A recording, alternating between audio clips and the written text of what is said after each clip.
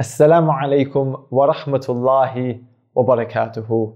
Ramadan is the month of the Quran, and as we head deeper into the month, our relationship with the Quran will no doubt increase, whether inside the prayer or outside of the prayer.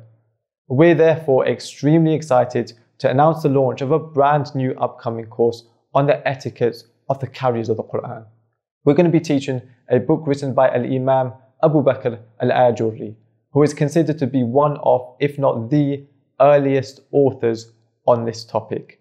If you want to be the first to find out when this course will launch, make sure you sign up at www.amauathome.com.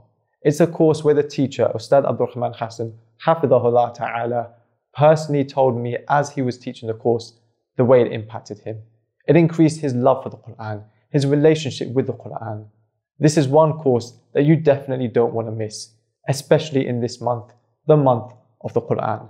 Head over now to amauathome.com.